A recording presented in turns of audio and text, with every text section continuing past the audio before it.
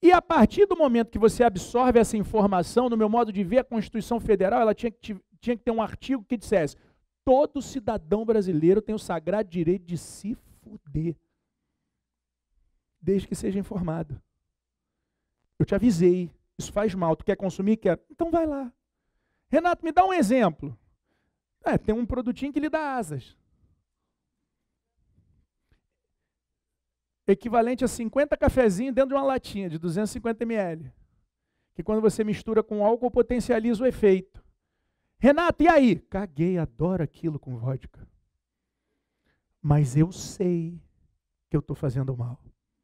Todo cidadão brasileiro tem o sagrado direito de se ferrar, desde que seja informado. Fui para as redes sociais para ensinar as pessoas os problemas que eles podem causar. Se você tiver essa informação e escolher consumir, pô, bacana.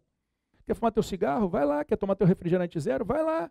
Quer ter... Beleza, velho. Quer fazer o que for? Vai, desde que você saiba dos riscos que você está correndo e depois não venha se infantilizar. Ah, mas aí fui levado, foi nada, tu foi informado. O problema é que as pessoas não são educadas. As pessoas não sabem disso.